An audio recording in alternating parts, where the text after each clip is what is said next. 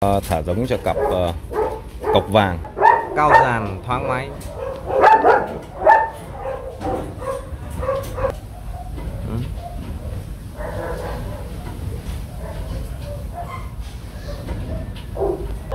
đây là con ờ, đực non. Mới được 12 tháng 13 tháng đấy. Khung gọng thì rất tốt. Giống bố sẹo, mặt cũng đẹp. Lông vàng cháy luôn rất đẹp.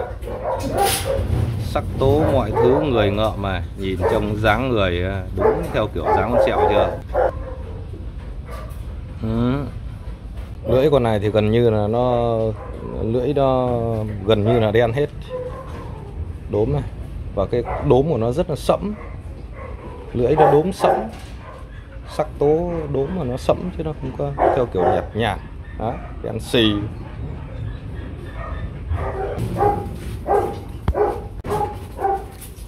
Thành công làm cho con chó nó cụp tai. Đó. Rồi vào nhau thêm một lúc đi. Không ra vườn kìa.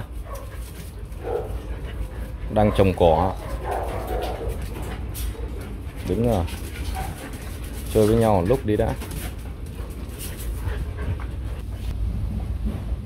Đã có một dàn ra đứng xem trong đấy là có, con à, lõm kìa, là con mẹ mẹ của con đực này.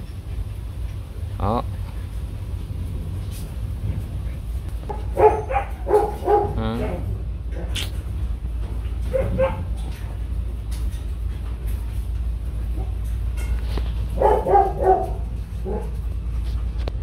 Không vội được đâu. Cứ từ từ. Ờ, cái đội ờ, cọc này nó rất khó nào rất khó hỗ trợ. Đây là đực non.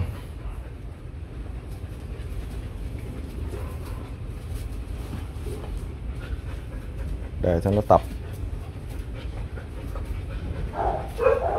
Tự nó để tự nó để cho nó tập dần. Nó phải qua qua tập luyện thì nó mới được khéo được. Đó lưỡi à nhìn lưỡi con đực đi đen xì luôn. Đó. Về chưa? Ấy, lưỡi thép nó phải đen, nó phải đen thế. Lồi thì ờ, lần này cho ghép, phải cho ghép với con của sẹo rồi ghép với sẹo mấy lần rồi? Lần sau sẽ cho lồi ghép với con cáo. Cái với đực tranh nhau chiều cao quá, con đực nó cao hơn con cái nhiều quá.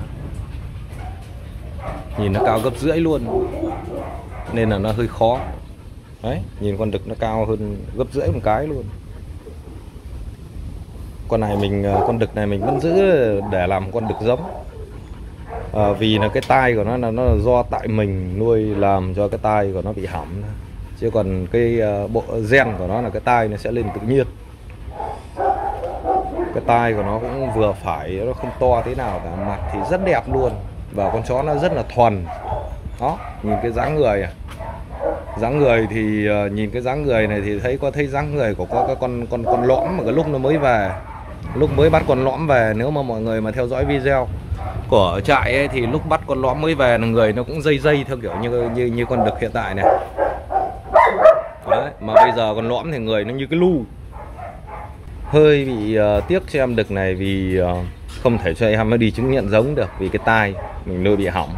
Nhưng mà ờ, khi mà nuôi ờ, để mà muốn một cái con chó uh, cọc mà nó chuẩn thì thực sự mà nói là cái việc mà có chứng nhận giống hay không có chứng nhận giống nó cũng không thành vấn không phải vấn đề đặt nặng quá. Có cho nó thì tốt nó là một cái xác nhận. Ờ, và nó còn đến uh, gây giống ở những cái đời sau nó sớm hơn một đời. Nhưng nếu mà không có thì cũng chả sao cả. Chờ đời con của nó sẽ cho nó chứng nhận giống thôi nó sẽ chậm một nhịp nhưng cái đấy nó không quan trọng. Quan trọng nhất là mình cầm được cái con chó. Mình uh, sở hữu được cái con chó uh, tốt. Cái uh, uh, sở hữu con chó có nguồn gen tốt uh, cả về cái uh, thể hình uh, khung gọng nó chỉ là cái uh, biểu hiện ở bên ngoài thôi. Nó là cái ở bên ngoài. Nhưng cái tính cách của con chó nó mới quan trọng. Với mình mình nuôi chó thì cái quan điểm của mình nó là như thế. Cái tính cách của con chó là quan trọng nhất con chó nuôi để phục vụ con người mà. Tính cách của nó quan trọng nhất bất kỳ một giống chó nào luôn. Thà ấy, nuôi một con chó lai mà nó khôn thì còn hơn là nuôi một cái con chó thuần giống nhưng mà nó kém khôn. Đấy cái quan điểm của mình nuôi chó nó là như vậy. Vì mình nuôi chó nhà thôi chứ không phải nuôi chó để làm trang sức. Còn nếu mà ờ, nuôi chó để làm trang sức là như là một cái để thể hiện đấy thì cái uh, về cái vấn đề là nó đúng giống là ưu tiên hàng đầu. Vì ờ, với rất nhiều giống chó cảnh mà nói thì con chó mà chuẩn giống thì uh, nhìn nó đẹp. Uh, nhìn nó thế này thế kia đi khoe thì phải khoe con chó nó chuẩn giống như kiểu thế.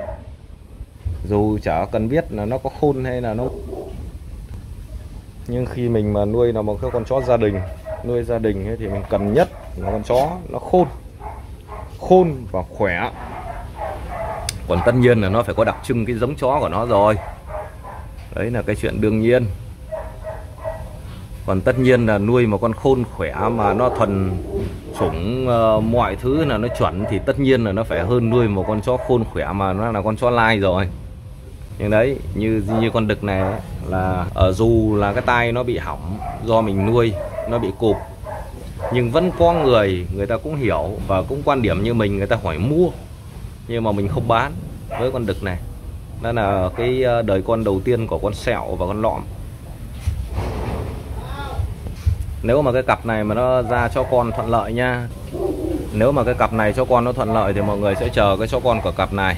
Mình sẽ nuôi để cho chó con của cái cặp này cho nó lên tai từ khoảng tầm hơn 2 tháng là nó sẽ bình tai. Dù là cái cặp này, cái tai của con mẹ nó không căng hẳn tai của con lồi là nó tai dựng như nó không căng hẳn. Nó không căng được như tai của con sẹo và con lõm đâu. Là theo cái phả gen của con đực này này, con này mình gọi là con sứt. Cái con sứt này, cái tai của nó là nó đang là tai cụp đấy, nhưng mà cái phả gen của nó là cái tai của nó nó nó dựng căng. Chờ cho con của cái cặp này xem xem là tai nó có dựng căng không. Hy vọng là nó sẽ có cho con. Đây là lần đầu tiên cho con sứt này nó nó nó thả giống. Đấy. lồi nha lồi là sướng nhất là lồi đấy. Sướng nhất là lồi đấy. Hai con này là nếu mà nó khớp với nhau là nó sẽ bổ sung được cho nhau này. Con lồi này thì nó là vàng nhưng mà nó theo kiểu là vàng uh, máu pha máu đỏ. Kiểu sắc tố của nó là biết rồi. Ra vườn nó chơi một tí này. Nhìn cái người của nó này. Tuyệt vời đấy. Mình uh, uh, cũng là rất là may là uh, lên bản tìm mà tìm được con uh, sẹo và tìm được con lõm. Hai cái con đấy là mình rất ưng ý cả cả đời con của chúng nó luôn. Uh, sẹo với lõm thì chứng nhận giống rồi. Uh, hai con uh, chó uh, mông cọc f0 rồi. Đời con này của nó thì là đời trước trước khi nó chứng nhận rộng.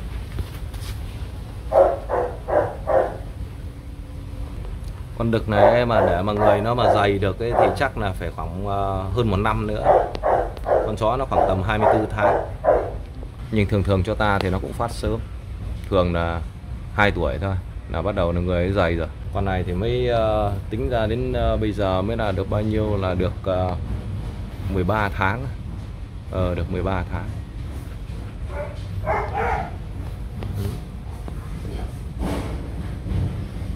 Ừ nhìn cái uh, ánh mắt nhìn cái mặt của con chó nhìn nó khôn con chó. Nhìn nhìn cái mặt nó khôn. Nhìn con chó nhìn cảm giác nó ờ, gọi là có một cái độ gọi là vạm vỡ.